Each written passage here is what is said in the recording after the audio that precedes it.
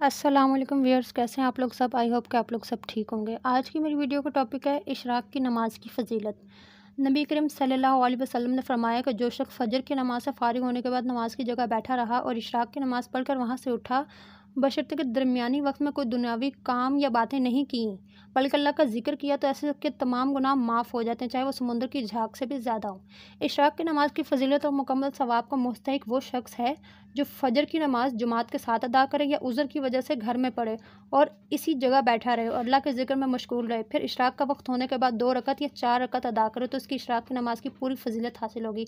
और अगर इन शराइ में से कोई एक शर्त फौत हो जाएगी तो इशराक की नमाज़ हो जाएगी, लेकिन फजीलत पूरी हासिल नहीं होगी तो हम अगर पूरी फजीलत हासिल ना कर सकें तो जितनी भी हासिल कर सकें, वो गनीमत है।